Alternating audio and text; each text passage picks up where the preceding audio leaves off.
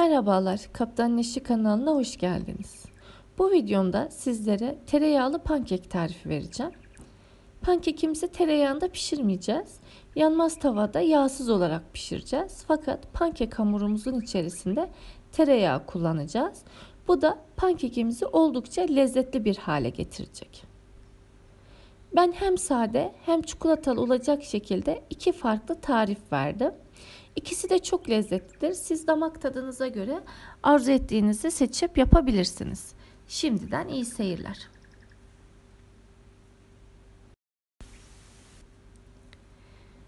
Pankekimiz için 2 adet yumurta kullanacağız. Öncelikle yumurtalarımızı bir güzel çırpalım. Çırptıktan sonra yumurtaların içerisine 2 yemek kaşığı şeker ve bir çimdik tuz ilave edeceğiz.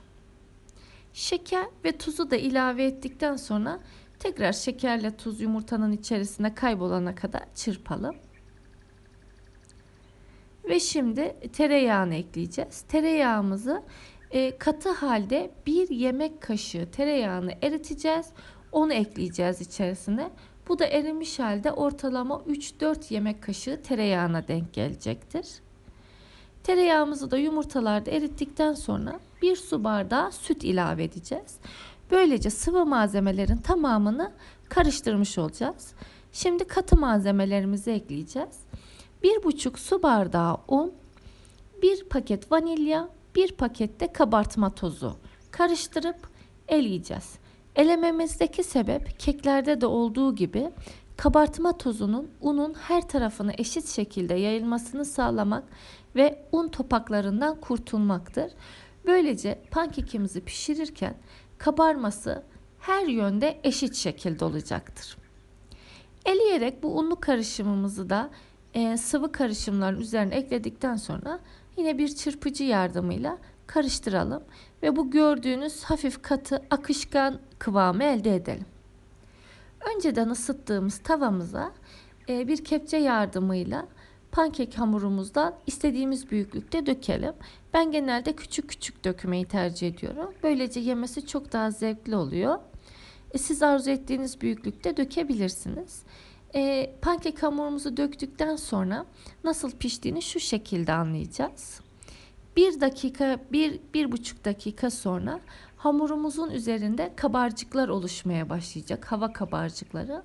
Bu hava kabarcıkları yoğunlaştığı zaman hamurun üzerinde alt kısmı pişmiş demektir. Çevirebiliriz artık pankeklerimizi alt tarafı pişsin diye.